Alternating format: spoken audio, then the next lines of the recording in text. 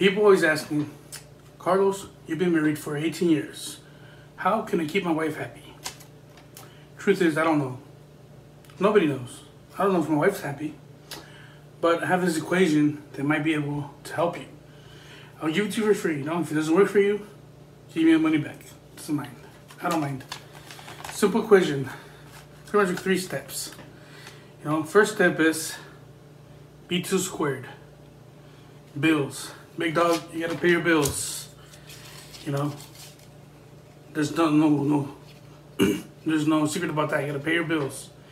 If you pay your bills on time and she's comfortable, you know, that's a good thing to do as a first step. Second step is TA. Tacos.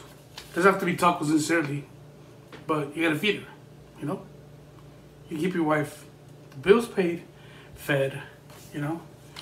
Then once you do those two things, you gotta divide after you do pay, pay your bills, feed her, you know, divided by kisses. They always want kisses. After she's fed, after everything's paid off, you know, and make sure that she's comfortable, you know?